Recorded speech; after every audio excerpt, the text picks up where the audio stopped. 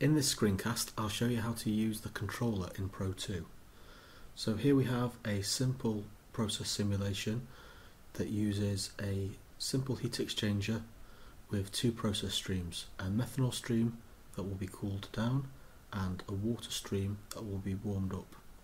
And the specification for the heat exchanger is simply that the area times the U value as a lumped product will be 6.131.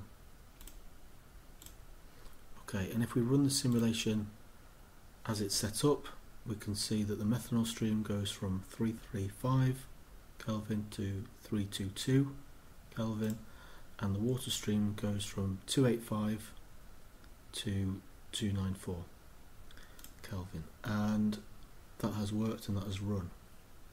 In order to use the controller we need to go over to the PFD palette, scroll down to utilities, click on controller and add that to the flow sheet.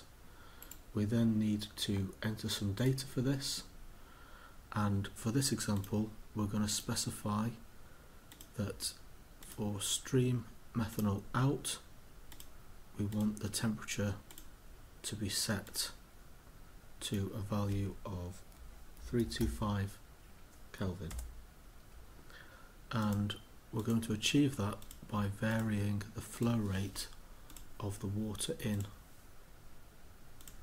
So click OK there, click OK. Everything's been specified now for the controller. Click OK. And we're now able to rerun the simulation. And the controller has varied the input flow rate for the water in order to achieve a methanol outlet temperature of 325 Kelvin. And that is a very basic overview of how to use the controller in PRO/II.